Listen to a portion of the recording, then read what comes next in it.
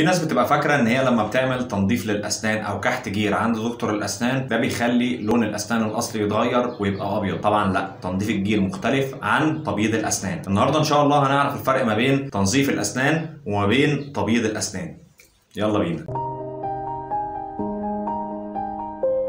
أول حاجة هنتكلم عن تبييض الأسنان. تبييض الأسنان هو المفروض عملية كيميائية بنستخدم فيها مواد كيميائية بنحطها على سطح الأسنان. هي بتعدي من أول طبقة على سطح الأسنان اللي هي طبقة المينا. وزي ما اتكلمنا قبل كده على أسباب تآكل طبقة المينا وطرق علاجها لو لسه ما شفناش الفيديو ده هنلاقي الفيديو فوق في علامة ال i الطبقة دي زي ما قلنا هي بتكون أول طبقة وهي خط الدفاع الأول بالنسبة للأسنان بتاعتنا. المواد الكيميائية دي بقى بتفضل ماشية في طبقة المينا لحد ما تعدي على طبقة العاج اللي هي طبقة ال dentin اللي هي تاني طبقة بتكون موجودة على سطح الأسنان. والطبقة الثانية دي هي اللي بيكون فيها التصبغات العميقة اللي بتبقى موجودة على الأسنان اللي بتستدعي إن إحنا نعمل تبييض هنا بيجي دور بقى المواد الكيميائية دي إن هي بتدخل وتفتت التصبغات اللي موجودة في طبقة ال dentin وبالتالي بتبدأ إن هي تغير من لون الأسنان الأصلي وتخلي الأسنان من الدرجه بتاعتها العادية دلوقتي إن هي تبقى أفتح درجة أو درجتين أو ثلاثة على حسب الحالة بتاعت الأسنان. طيب إيه هي الأسباب اللي بتستدعي إن إحنا نعمل تبييض للأسنان؟ في ناس بتاكل أكلات ومشروبات بتكون فيها نسبة تصبغات عالية جدا. مشروبات مثلا زي الشاي والقهوة وبالنسبة برضو للسجاير نفس القصة في الموضوع الأكلات اللي بيكون فيها صلصة أو الحاجات دي. وطبعا مع الإهمال في تنظيف الأسنان بتبدأ الصبغات دي إن هي تتراكم على طبقة الأسنان الأولانية اللي هي طبقة المينا ومنها بتبدأ تخش لطبقة ال dentin اللي هي الطبقة الثانية وهنا بنضطر إن إحنا نعمل تبييض الأسنان. تصبغ الأسنان عندنا بيتقسم لنوعين نوع سطحي ونوع عميق. النوع السطحي ده ممكن إن أنت تتخلص منه بالتلميع عند دكتور الأسنان اللي هو ال dental polishing. النوع العميق ده اللي بيحتاج مننا إن إحنا نعمل تبييض للأسنان. تنظيف الأسنان وإزالة الجير ده بقى إن إحنا بنشيل طبقات الجير اللي موجودة على سطح الأسنان أو طبقة ال plaque. وطبقة ال plaque دي كنا اتكلمنا عنها قبل كده وقلنا هي الطبقة اللي بعد ما تيجي تاكل لو جيت عملت بصباعك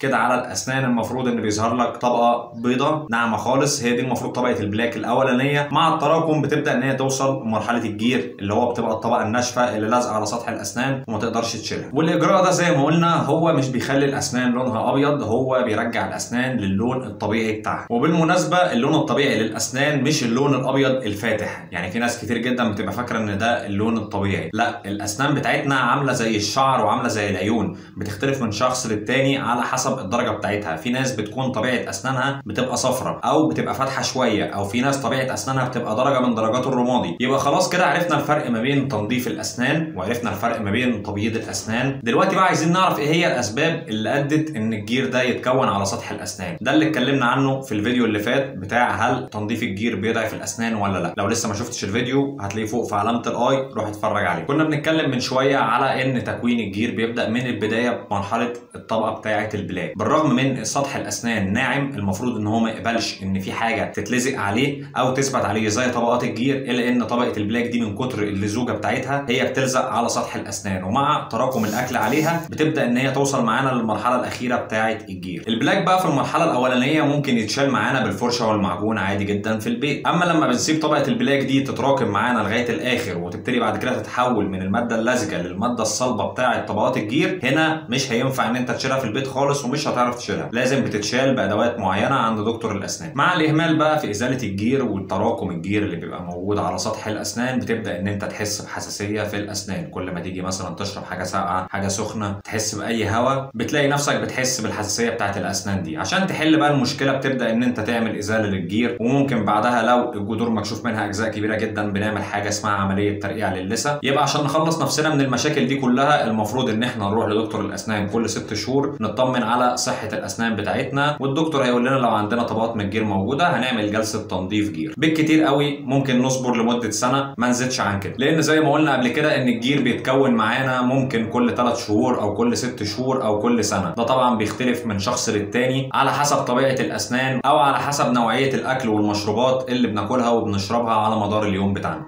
وبس كده خلصت حلقتنا النهارده. أتمنى أكون عرفتكم إيه الفرق ما بين تنظيف الجير وما بين التبييض وإمتى نعمل تبييض وإمتى نعمل تنظيف للجير. لو لسه عندك أي استفسار سيبهولي في ال comments تحت وأنا هرد عليك. ما تنساش like share follow ولو استفدت من الفيديو ده ادعي لي دعوة بظهر الغيب. سلام.